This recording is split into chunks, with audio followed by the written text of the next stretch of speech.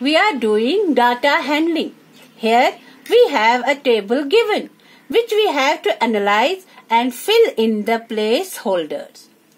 See the first row we have a cat. Six children like cats. Here each smiley represents a child. In second row we have a fish. How many children like fish? Yes, five because five smileys are present here. In third row we have a dog. And how many children like dog? Yes, four children like dogs.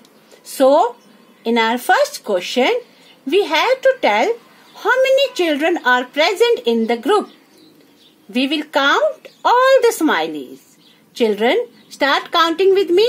One, two, three, four five six seven eight nine ten eleven twelve thirteen fourteen fifteen so there are fifteen children in the group now children in our second question we have to name the pet liked most सबसे ज़्यादा किस जानवर को बच्चे पसंद करते हैं?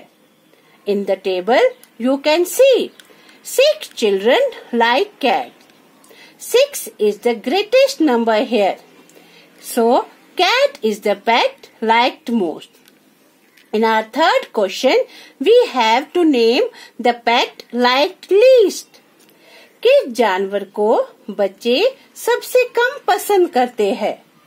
Four children like dogs children our last question is how many children like cat than fish.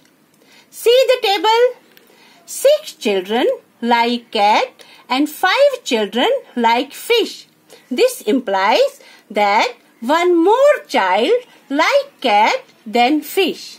So children, we can say data handling is a process of gathering, recording and presenting information in a way that is helpful to others. For example, in the form of graphs and charts.